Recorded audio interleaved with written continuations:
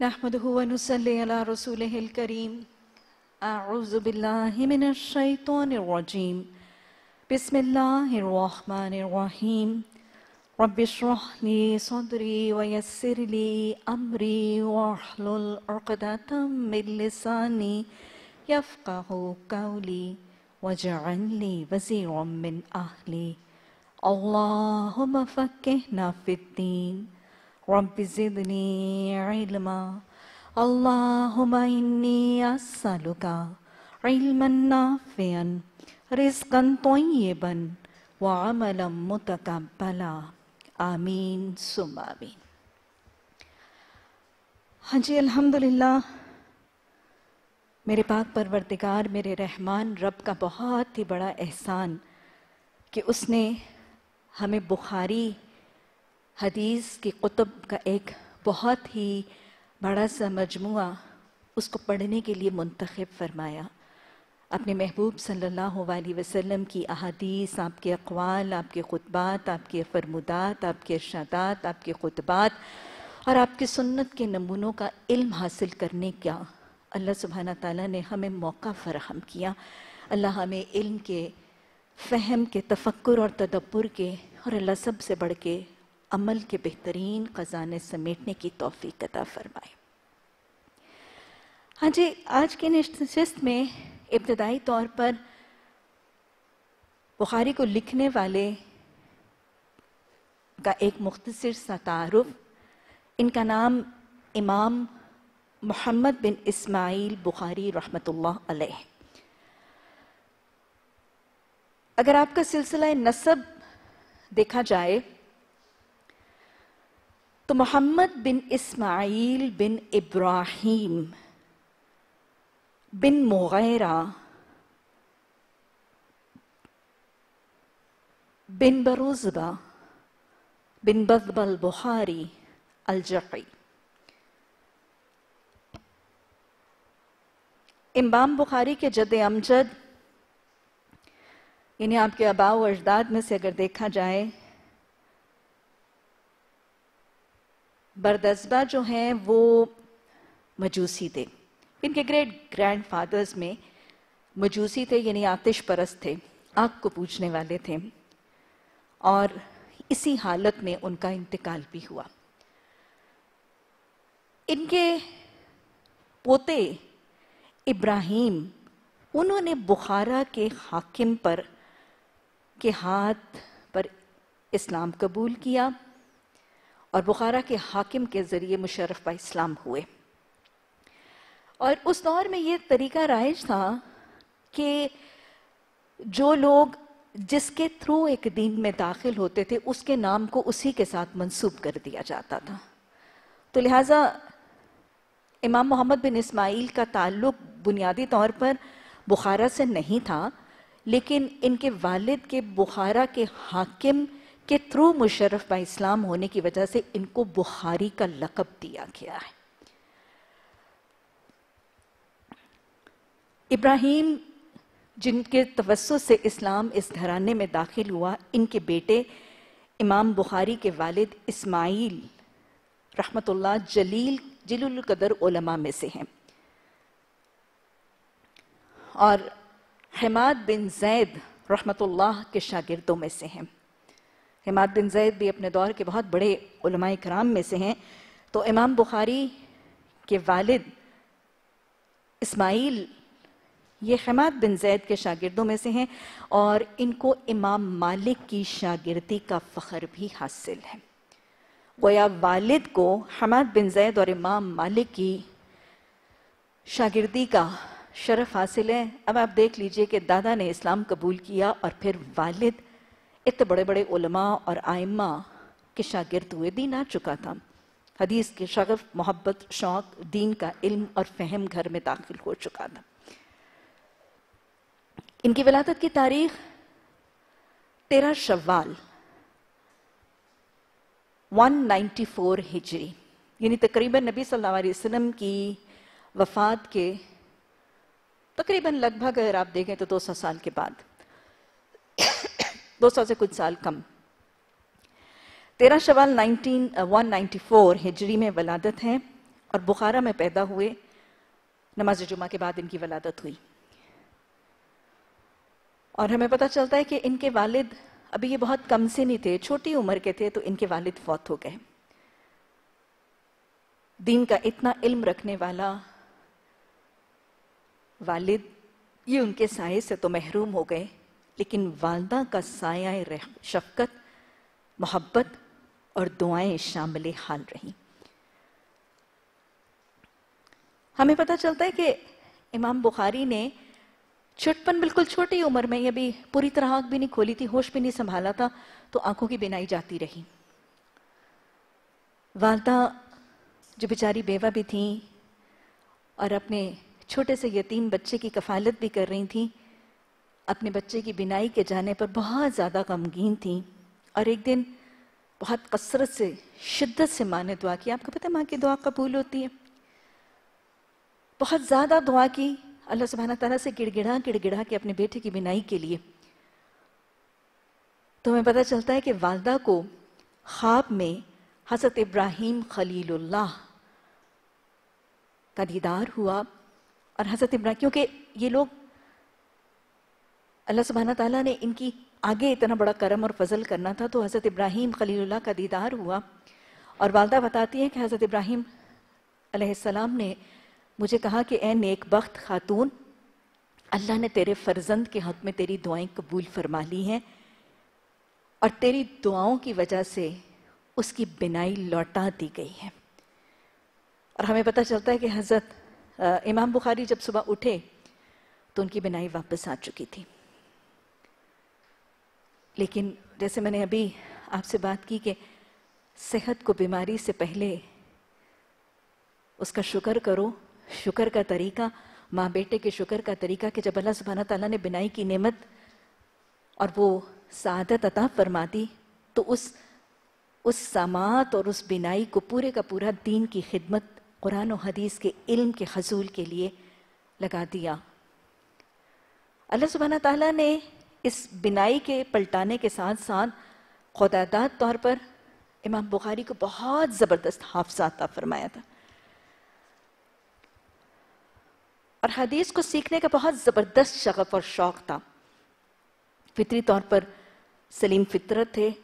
اور ماں نے بھی اپنی پوری توجہ، پورا دھیان، پورا مال بیٹے کی تعلیم کی طرف لگا دیا۔ اور ہمیں پتہ چلتا ہے کہ ابھی بالکل چھوٹی ہی عمر میں تھے۔ تو باقاعدہ حلقہ دروس میں شامل ہونے لگے۔ یہاں تک کہ پتہ چلتا ہے کہ ابھی سولہویں سال میں داخل ہی ہوئے تھے۔ تو عبداللہ بن مبارک کی جمع کی ہوئی ساری احادیث ان کو زبانی یاد تھی۔ سولہویں سال پر عبداللہ بن مبارک کی جمع کی ہوئی ساری احادیث ان کو زبانی حفظ تھی۔ حافظہ بھی اللہ نے بلا کا دیا تھا، لیکن اس حافظے کو صحیح کام کے لیے استعمال بھی کر رہے تھے۔ اللہ سبحانہ تعالیٰ تو نے ہمیں جو خدا داد صلاحیتیں دی ہیں، ان کو پہچاننے اور آئیڈینٹیفائی کرنے اور پھر ان کو آئیڈینٹیفائی کر کے صحیح دین کی خدمت کے لیے لگانے کی توفیق عطا فرما دے اور اللہ جب ان کو تیرے دین کی خدمت کے لیے پیش کریں تو اللہ ان کو قبول بھی فرما لینا، ان میں برکت اور ان میں اضافہ فرما کر اللہ ان کو ہمارے لیے نجات کا ذریعہ بنا دینا۔ پہلا سفر حج، ہمیں پتہ چلتا ہے کہ امام بخاری نے جو پہلا سفر کیا، وہ حج کا سفر تھا۔ اپنی والدہ اور اپنے بھائی کے ساتھ دو سو دس ہجری میں، چھوٹی عمر ہی ابھی۔ تقریباً سولہ سال کی عمر ہوگی۔ دو سو دس ہجری میں انہوں نے سفر کیا اور پھر ہمیں پتہ چلتا ہے کہ وہاں پر بھی لگاتار اپنے سفر کے دوران حدیث کو سیکھنے کا شوق اور شکب کا بہت زبردست ظاہرہ اور بخارا میں بڑے بڑے مشائق کے پاس جایا کرتے تھے، جہاں بہت بہت سے تلامزہ بیٹھے ہوتے تھے۔ اور سب کے سب شاگرد جو ہیں، وہ ان کے پاس کتابیں ہوتی تھیں اور وہ لکھا کرتے تھے۔ یعنی ان کے علماء، امام، مشائق جو پڑھاتے تھے، وہ سب کے سب تلامزہ شاگرد جو ہیں، اس کو درج کرتے چلے جاتے تھے۔ اور امام بخاری تمام ان شیوخ کی محفلوں میں خاموشی سے بولتے بھی کچھ نہیں تھے لکھتے بھی کچھ نہیں تھے نہ ہاتھ حرکت دیتا تھا نہ زبان حرکت دیتی تھی خاموشی سے بیٹھے سنتے رہتے تھے اور اس پر کچھ جو ساتھی تھے وہ اعتراض بھی کرتے تھے اور تنقید بھی کرتے تھے کہ آپ لکھتے کیوں نہیں ہیں اور پھر ایک ساتھی ایک واقعہ بتاتے ہیں کہتے ہیں کہ جب ایک دن بہت زیادہ تنقید ہونے لگی کہ آپ لکھتے کیوں نہیں ہیں ہم لکھ رہے ہیں ان کے خزانے ہم سمیٹ رہے ہیں آپ کیوں نہیں لکھتے ہیں تو پھر ایک دن امام بخاری نے کہا کہ اب تم لوگوں کی تنقید کی حد ہو گئی ہے، لاؤ اپنے دفتر۔ یعنی تم لوگوں نے جو لکھ رکھا ہے نا، جاؤ، لاؤ۔ اور پتہ چلتا ہے کہ اس وقت تک جو تلامزہ ہیں، انہوں نے پندرہ ہزار احادیث لکھ رکھی تھی۔ ففٹین تھاؤزنڈ احادیث درج کر لی ہوئی تھی اپنی کتابوں میں۔ اور وہ کتابیں لا کے امام بخاری کے سامنے رکھ دی گئیں۔ لوگوں نے لکھ لکھ کے رکھی ہوئی تھیں۔ امام بخاری نے ساری کتابیں ان کی احادیث زبانی سنانی شروع کر دی۔ اور جس آرڈر میں سن لکھوائی گئی تھیں جس آرڈر میں ان کی کتابوں میں درج کی ہوئی تھیں اسی آرڈر میں امام بخاری نے سنانی شروع کر دی۔ ان کا زبردست حافظہ تھا۔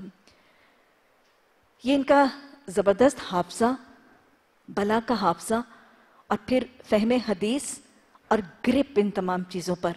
یہ ان کی شہرت کے پھیلنے کا ذریعہ بن گیا۔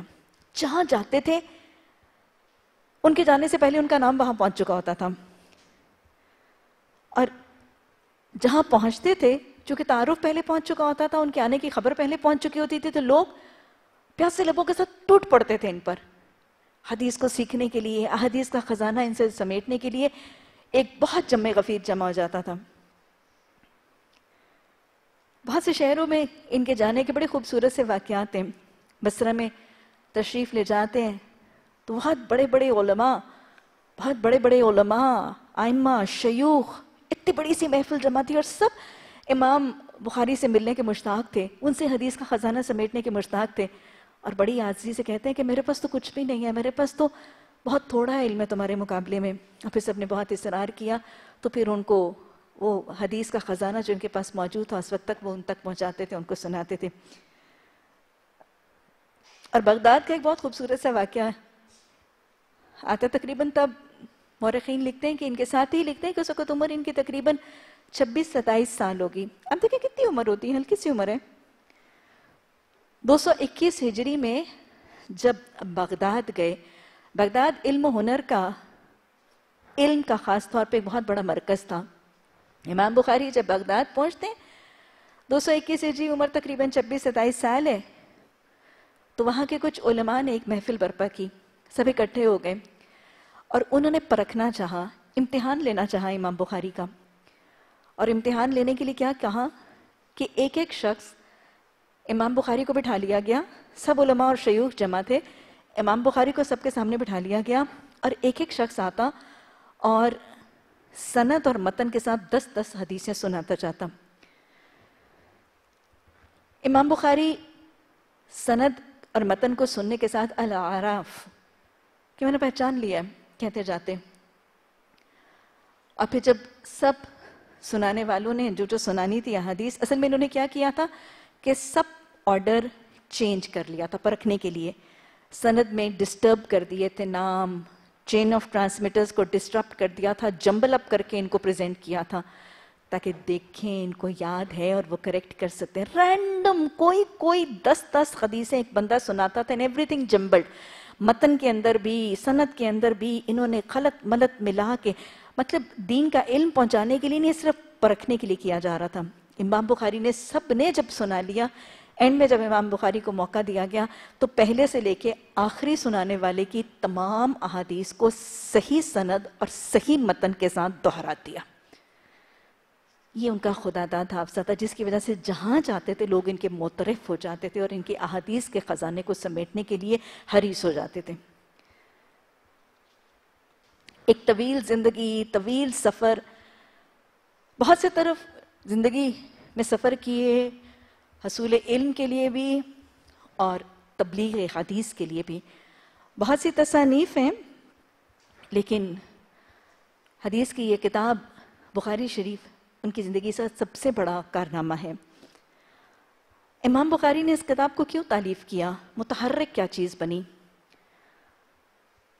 امام بخاری کا خود وہ اپنی واقعے کے حوالے سے بتاتے ہیں، کہتے ہیں کہ میں اپنے استادوں میں سے ایک استاد امام اسحاق بن راہویہ، کہتے ہیں کہ میں اسحاق بن راہویہ کے پاس بیٹھا تھا تو انہوں نے مجھے کہا، لوگوں سے مخاطب ہو کر کہا کہ کاش تم میں سے کوئی ایک ایسی مختصر کتاب جمع کرے جس میں ساری صحیح صحیح حدیث کی کتاب جو معاملات ہیں وہ درج ہوں۔ اسحاق بن راہیوہ لوگوں سے خطاب کر رہے تھے۔ امام بخاری ان کے محفل مجلس میں موجود تھے۔ ان کے تلامزہ میں سے بھی تھے۔ ان سے علم بہت حاصل کیا۔ تو کہتے ہیں کہ جب انہوں نے خطبے میں کہا کہ کاش تم میں سے کوئی ایک شخص جو ہے، کوئی ایسی مختصر سی کتاب جو ہے وہ تصنیف کرے جس میں حدیثیں صحیح صحیح ہو تو کہتے ہیں بس اس دن سے میرے دل میں یہ تڑپ پیدا ہو گئی کہ کاش میں یہ کام کر سکوں۔ اور انسان یاد رکھے گا جس چیز کے لیے تڑپتا ہے نا، اور جس چیز کی آرزو کرتا ہے۔ میرا رب تو اتنا رحمان ہے، دنیا کی آرزو یا تمنائیں دیتا ہے۔ جب دین کی خدمت کی خاطر کوئی طلب اور تڑپ پورے خلاص سے اس کے دل میں آتی ہے نا، رب اس کی خواہشات اور اس کی امیدوں سے بڑھ کے اس کو وہ چیز نوازتا ہے۔ ذرا تڑپ کے تو دیکھیں دین کے علم کے لیے۔ ذرا جستجو اور آرزو کر کے تو دیکھیں ایک دائیا بننے کے لیے۔ اللہ سبحانہ تعالیٰ آپ کی خواہشیں، آپ کی آرزووں سے بڑھ کے معاملہ کرے گا انشاءاللہ۔ اللہ ہمیں یہ ذوق و شوق، یہ حرس یہ خوش اور یہ شدید آرزو اور تمنا بنا دے۔ اور اللہ پھر ہمارے بڑھ سے بڑھ کے معاملہ کر کے، ہمیں قبول کر کے، ہمیں اس دین کی خدمت کے لیے منتخب فرما لے۔ اب بہت شدید آرزو اور جستجو دل میں پیدا ہوئی۔ پھر کہتے ہیں کہ متحرک کیا ہوا؟ محمد بن سلمان ابن فارس روایت کرتے ہیں کہ میں نے امام بخاری کو یہ بتاتے ہوئے سنا، کہتے ہیں کہ ایک دن رات کو میں نے خواب دیکھا۔ خواب کس کو ہے؟ امام بخاری کو۔ میں نے خواب دیکھا کہ رسول اللہ صلی اللہ علیہ وسلم میرے سامنے تشریف فرما ہے اور میں آپ کے سامنے کھڑا ہوں اور میرے ہاتھ میں ایک پنکھا ہے اور میں آپ کے جسم مبارک سے پنکھے پنکھا ہلا ہلا کے مکھیاں اڑاتا جا رہا ہوں۔ نبی صلی اللہ علیہ وسلم ہے امام بخاری کہتے ہیں، میں سامنے کھڑا ہوں، میرے ہاتھ میں پنکھا ہے اور میں پنکھا جھل رہا ہوں۔ اور پنکھا جھل کے کیا کر رہا ہوں؟ آپ صلی اللہ علیہ وسلم سے جو آنے والی کچھ مکھیاں ہیں، وہ جھل جھل کے ان کو اڑاتا چلا جا رہا ہوں۔ کہتے ہیں کہ میں نے تعبیر، کیونکہ آپ کو پتا ہے کہ علم اور باقاعدہ ایک تعلیم، ایک علم ہے نا، خوابوں کی تعبیر کا علم۔ کہتے ہیں کہ تعبیر کا علم رکھنے والوں سے میں نے اس خواب کی تعبیر پوچھی۔ تو انہوں نے اس خواب کی تعبیر کیا بتائی؟ مکھی کس چیز کی علامت ہے؟ مکھی گندگی پر بیٹھتی ہے اور مکھی گندگی کی غلازت کی علامت ہے۔ تو اس پر تعبیر یہ دی گئی، انہوں نے کہا کہ تم رسول اللہ صلی اللہ علیہ وسلم پہ سے جھوٹ اور قذب کو اڑا دو گے۔ حدیث پر سے جو جھوٹ کی آمیزش ہے، وہ تم اس کو اڑا دو گے۔ اور پھر کہتے ہیں کہ اس خواب نے مجھے پھر حدیث کی کتاب کی تصنیف پر مستعد کر دیا۔ یعنی پھر میں فرم ہو گیا، میں جم گیا کہ ہاں میں نے یہ کام کرنا ہے کہ اب تو میں نے خواب میں بھی دیکھ لیا۔ اور لکھنے کا انداز اتنا تقوی، اتنی پرہیزگاری کہ محمد بن یوسف فربری کہتے ہیں کہ میں نے امام بخاری سے سنا کہ امام بخاری بتاتے تھے کہ میں جب اس صحیح بخاری کی اور آپ انشاءاللہ اس کی حدیثیں پڑھیں گے، لیکن ہر حدیث پڑھنے سے پہلے اپنے اوپر یہ قیفیت تاری کیجیے گا کہ لکھنے والے نے لکھی کیسے تھی۔ امام بخاری فرماتے ہیں کہ میں نے ہر حدیث لکھنے سے پہلے، کبھی کوئی ایسی حدیث نہیں لکھی جسے پہلے میں نے غسل نہ کیا اور ہر حدیث کے پڑھنے سے پہلے کم از کم میں دو رکعتیں نفل کی پڑھتا تھا۔ اللہ ہمیں اتنا ذوق، شوق، اپنے دل کی، نگاہوں کی، اتنی پاکی اور طہارت کے ساتھ اس قرآن کو، اس حدیث کو تھامنے کی توفیق عطا فرمائے۔ ہر حدیث لکھنے سے پہلے غسل کرنا، جسمانی پاکی اور طہارت، اور پھر شکرانے اور بہترین مدد اور توفیق کے لیے، رہنمائی کے لیے، اور جھوٹ سے بچنے کے لیے دو نوافل کم از کم۔ اور امام بخاری کہتے ہیں،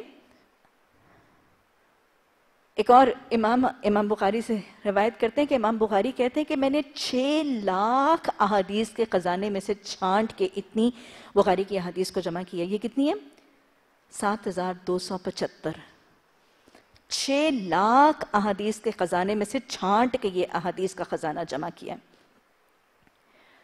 اور امام بخاری کہتے ہیں کہ میں نے اکثر صحیح احادیث کو بھی چھوڑ دیا کیونکہ انہوں نے اپنا پیمانہ بہت زیادہ سویری اور انٹینسلی سخت رکھا ہوا تھا کہ بہت سی احادیث صحیح کے پیمانے پر بھی تھیں لیکن ان کو میں چھوڑ دیتا تھا۔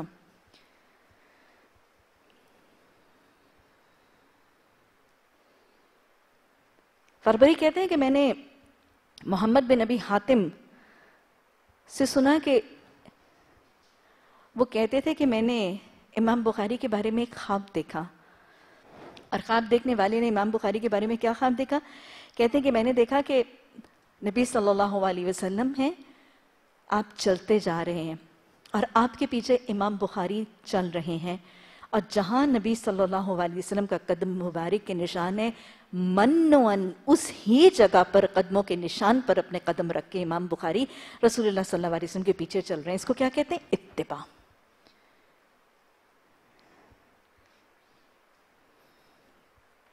اسی طرح نجم بن فضیل کہتے ہیں، وہ بھی اپنے دور کے بہت بڑے آئمہ میں سے تھے۔ کہتے ہیں کہ میں نے بھی بالکل ایسا ہی خواب دیکھا۔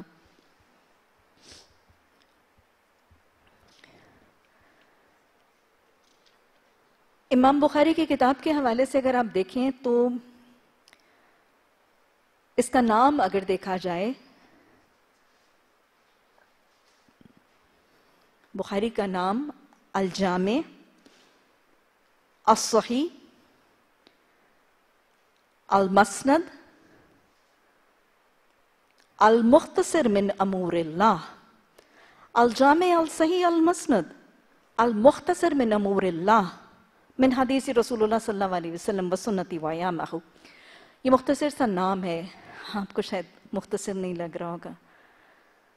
اس میں اس کو صحیح کیوں کہا گیا ہے؟ اس نام کے مختلف فریکشنز کی وجہ۔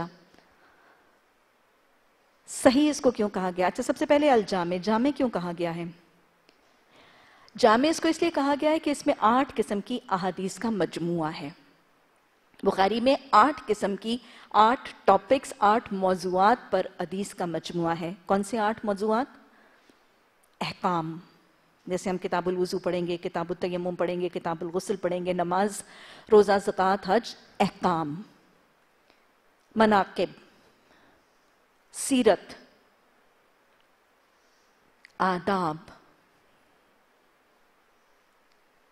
احکام۔ مناقب۔ سیرت، آداب، فتن ریکوک یہ سب ہم پڑھیں گے انشاءاللہ، اور عقائد۔ تو لہٰذا اس کو جامع کہا گیا۔ صحیح اس کو کیوں کہا گیا؟ کہ ابتدا سے لے کے انتہا تک، ابتدا سے انتہا تک اس کی احادیث متصل ہیں۔ تمام کے تمام راوی عادل اور ضابط ہے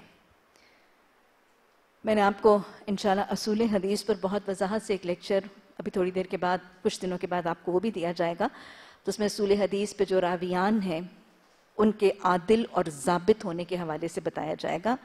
اور شاز اور معلول نہیں ہے اس لیے اس کو صحیح کہا گیا ہے۔ المسند، اس کی تمام احادیث جو ہیں وہ مرفوع اور متصل احادیث ہیں۔ یہ میں پہلے آپ کو بتا چکی ہوں کہ مرفوع احادیث کون سی ہیں اور متصل احادیث کون سی ہیں۔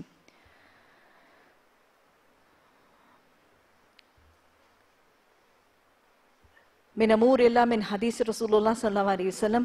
نام میں اس لیے شامل ہے کہ نبی صلی اللہ علیہ وسلم کے اقوال ہیں۔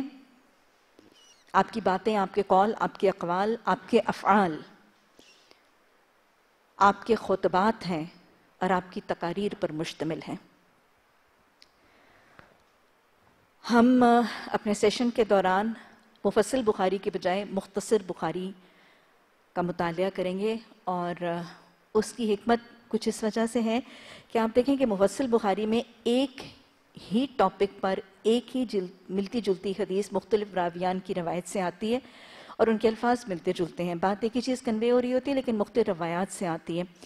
تو اس تکرار کو اور اس ریپٹیشن کو ان مختصر بخاری کی کتب کے اندر نکال دیا گیا ہے تاکہ مطالعہ جو ہے وہ مقابلتاً آسان ہو جائے۔ تو جو مختصر بخاری ہے، ان میں سے بہت سی مختصر بخاری کو کھنگالا گیا اور جو مختصر بخاری آپ کے سلیبس کے لیے چنی گئی ہے، یہ وہ ہے جس میں منیمم تکرار کو نکالا گیا ہے۔ اور جس میں حدیث کی تعداد جو ہے وہ باقی تمام مختصر بخاری کی جو قسمیں تھیں، ان سے زیادہ تھیں۔ تو اس لیے آپ کی مختصر بخاری جو ہے، یہ کافی کھنگالنے کے بعد منتخب کی گئی ہے۔ ہمیں سیشن کے دوران ترجمہ اور شرح دی جائے گی۔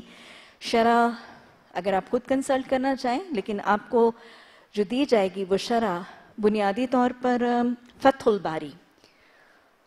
فتح الباری شرح نوی اور تفیم الحدیث سے منتخب کی گئی ہوگی۔ اس مطالعے سے آپ کو یہ سبسٹنس سارا دیا جائے گا اور آبویسلی بہت سے شیوخ اور بہت سے جو اساتذہ اگرام ہیں ان سے بھی فیض پایا گیا ہے اس سیشن کی تیاری کے لیے۔ فتح الباری حافظ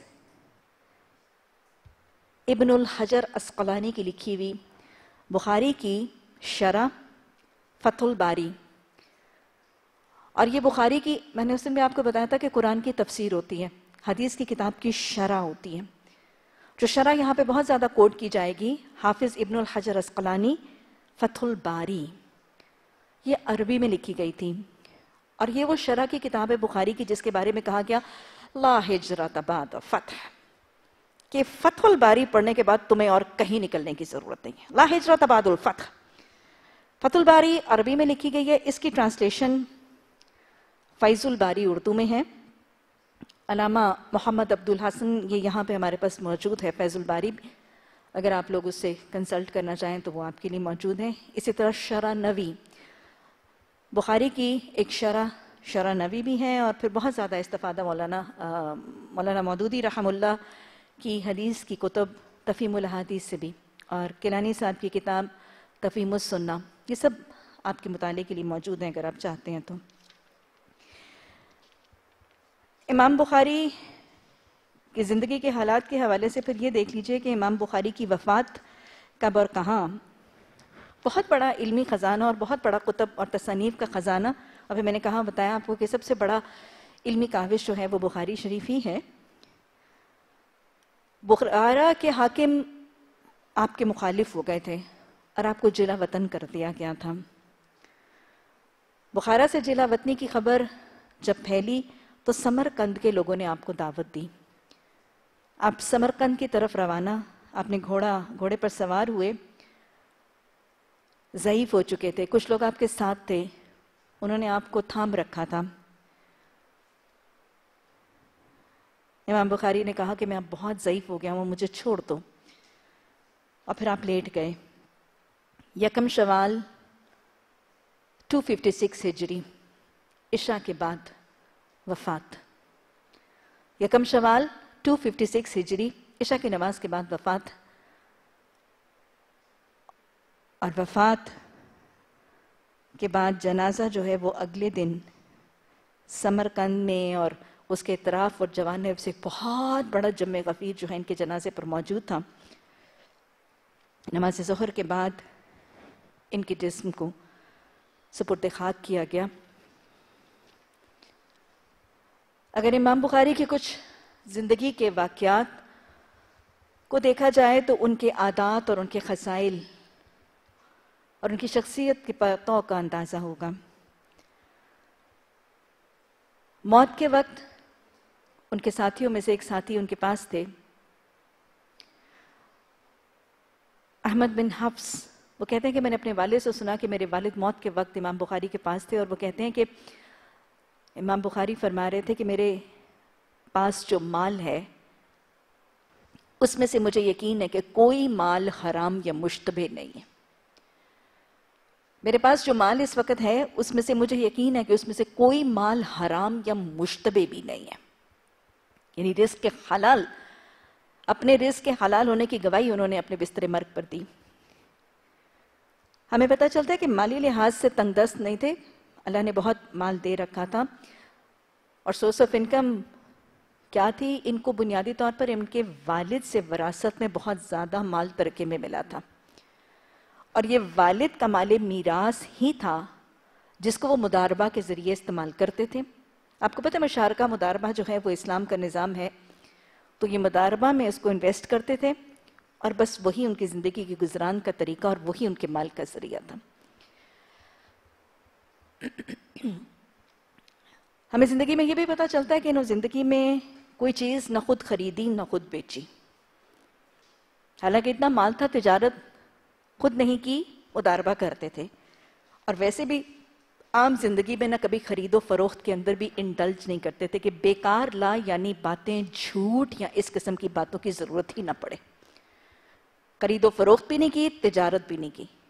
باپ کی طرف سے مال ملا، وہ سارا مداربہ میں لگا، اسی سے کام چلا۔ ان کے مال کے حوالے سے کسی کے ساتھ جب مال لگایا ہوا تھا، اس نے مشورہ کیا، تاجر ان کے پاس آئے اور ایک دن پانچ ہزار پانچ ہزار کا نفع دیا۔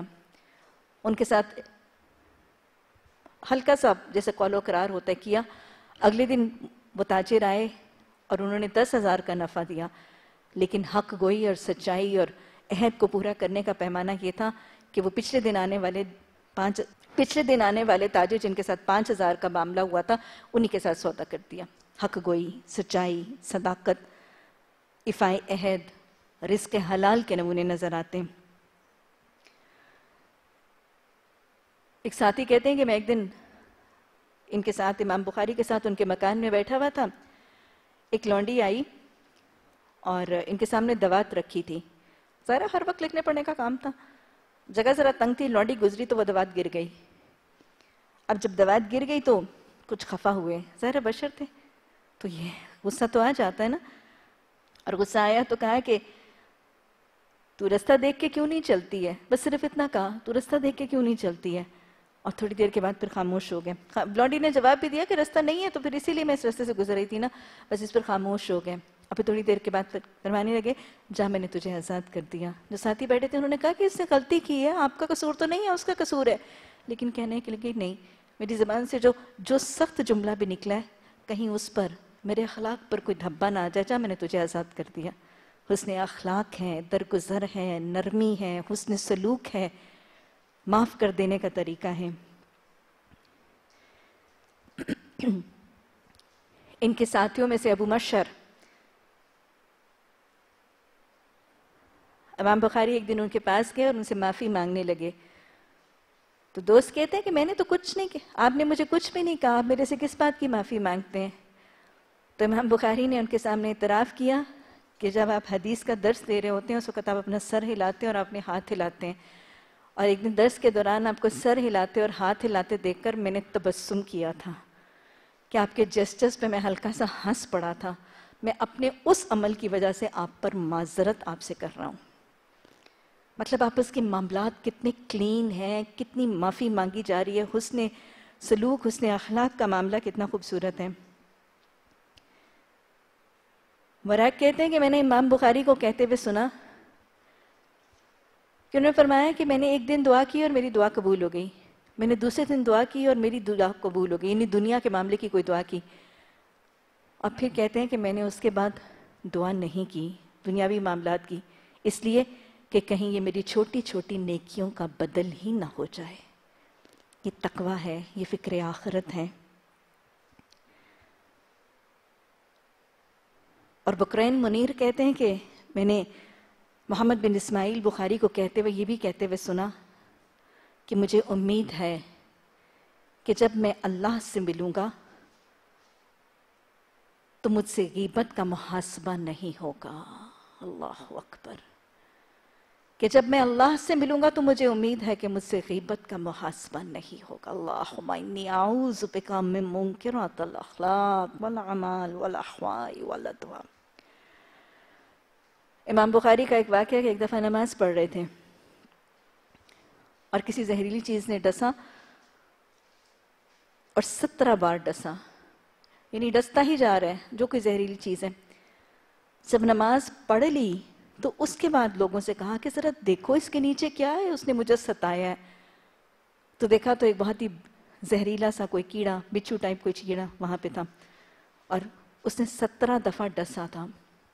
یہ نماز یا ظنون انہم ملاقو ربہم، یہ عبادات ہیں۔ حقوق اللہ اور حقوق العباد دونوں کے اندر طریقہ دیکھیں۔ بہت زیادہ کم خوراک تھے، کم کھاتے تھے سادہ کھاتے تھے۔ زندگی میں سے کھانے کے لوازمات نکل گئے تھے، اسی لیے تو کچھ اعلیٰ درجے کا کام کر لیا تھا۔ ایک دفعہ بیمار ہو گئے اور ان کے حالات کے بارے میں دریافت کیا گیا تو پتہ چلا کہ پچھلے چالیس برس سے انہوں نے کبھی سالن ہی نہیں کھایا تھا۔ چالیس برس سے ہم دو دن اوپر نیچے ایک سالن ہی کھانے کو تیار ہوتے ہیں۔ لوگ پچھلے دن کا سالن کھانے کو تیار نہیں ہوتے۔ امام بخاری علم کا اتنا بڑا خزانہ چالیس سالوں سے سالن ہی نہیں کھایا تھا۔ طبیبوں نے طبیبوں نے رائے کیا دی کہ آپ کی بیماری کی وجہ یہ کہ آپ سالن نہیں کھاتے، آپ خدارہ سالن کھائیں۔ بڑے مشکل راضی ہوئے تو کھجور کے ساتھ روٹی کھائی۔ خوراک کی کمی اور خوراک کی سادگی بسیار خوری، دلوں کو اور ذہن کو دونوں کو کفل لگا دیتی ہے زنگ لگا دیتی۔ بہت زیادہ سخی تھے، بہت زیادہ مال خرچ کرتے تھے اور اپنے شاگردوں کے ساتھ بہت حسن سلوک اور احسان کا معاملہ کرتے تھے۔ تعلق بالقرآن بہت خوبصورت نظر آتا ہے۔ رمضان میں، رمضان کا مہینہ آتا تھا تو ان کے شاگرد اور بہت سے اور شہر کے لوگ جو ان کے پاس جمع ہو جاتے تھے۔ قرآن ایک دفعہ مکمل کرتے تھے، بیس بیس آیات، ہر رکت میں بیس آیات پڑھتے تھے اور قرآن کو مکمل کرتے تھے۔ پھر ہمیں پتہ چلتا ہے کہ ایک تہائی قرآن سحر کے وقت مطلب ایک قرآن سحر کے وقت، ایک قرآن دوپہر کے وقت اور ایک قرآن جو ہے وہ اپنا اتنی تلاوت کرتے تھے کہ ایک سحری کے وقت، ایک دن کے وقت اور ایک افطار کے بعد۔ کہ یہ تین وقت کی تلاوت قرآن جو ہے، یہ ان میں بھی ایک ایک قرآن مکمل ہوتا تھا اور ایک قیام اللیل میں۔ امام بخاری کا پتہ چلتا ہے کہ وہ اپنی تحجد کی نماز میں تیرہ رقطیں جس میں ایک وطر اور تیرہ رقطیں ادا کرتے تھے۔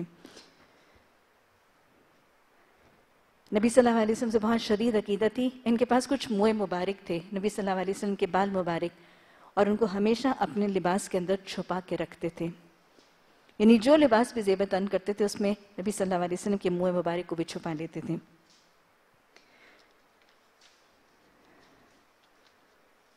اللہ سبحانہ تعالیٰ نے بہترین علم دیا، بہترین حافظہ دیا اور اس حافظے کو محمد صلی اللہ علیہ وسلم کی تعلیمات کو محفوظ کرنے کے لیے استعمال کیا۔ فربری کہتے ہیں کہ انہوں نے ایک بہت بڑے امام سے خواب کا تذکرہ دیکھا کہ وہ کہتے ہیں کہ میں نے خواب میں نبی صلی اللہ علیہ وسلم کو دیکھا، دیدار ہوا۔ اور نبی صلی اللہ علیہ وسلم نے ان سے پوچھا کہ رستے پہ جا رہے تھے نبی صلی اللہ علیہ وسلم سے ملاقات ہوئی اور نبی صلی اللہ علیہ وسلم نے خواب دیکھنے والے امام سے پوچھا کہ آپ کہاں جا رہے ہیں؟ انہوں نے کہا کہ میں محمد بن اسماعیل بخاری کے پاس جا رہا ہوں۔ خواب دیکھنے والے کو محمد صلی اللہ علیہ وسلم نے فرمایا کہ ان کو میری طرف سے سلام کہنا۔ ان کو میری طرف سے سلام کہنا۔ اسی طرح ایک اور خواب پتہ چلتا ہے کہ ابو سہل بن احمد یہ فرماتے ہیں کہ میں نے ابو زید سے سنا کہ وہ کہتے ہیں کہ میں ایک جگہ پر کھڑا تھا۔ خواب میں میں نے دیکھا کہ میں ایک جگہ پر کھڑا ہوں۔ نبی صلی اللہ علیہ وسلم میرے سامنے تشریف لاتے ہیں۔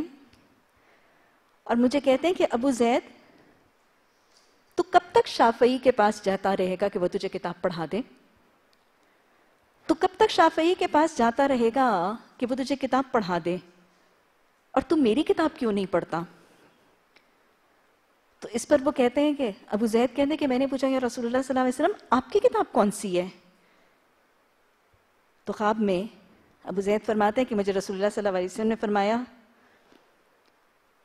جامع محمد اسماعیل بخاری۔ خواب میں آپ نے فرمایا کہ میری کتاب جامع بخاری ہے۔